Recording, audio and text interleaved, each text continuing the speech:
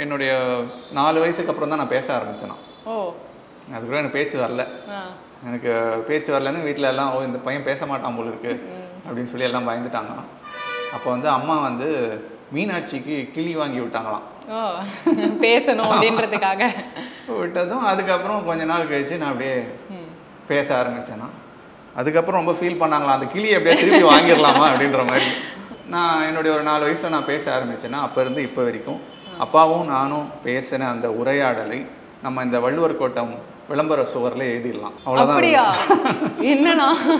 அந்த மாதிரி வந்து ரொம்ப நான் பெரும்பாலும் நான் அவர் பேசுகிறத நான் கேட்டுட்டு இருப்பேனே தவிர நான் ரொம்ப அவர்கிட்ட என்னுடைய இதை ரொம்ப பகிர்ந்து கொள்வதோ இதுவோ அந்த அந்த மாதிரி ஒரு என்ன சொல்கிறது அந்த அது அது ஒரு ஒரு அன்பான ஒரு இடைவெளி எப்பவும் இருந்துகிட்டே இருக்கும்.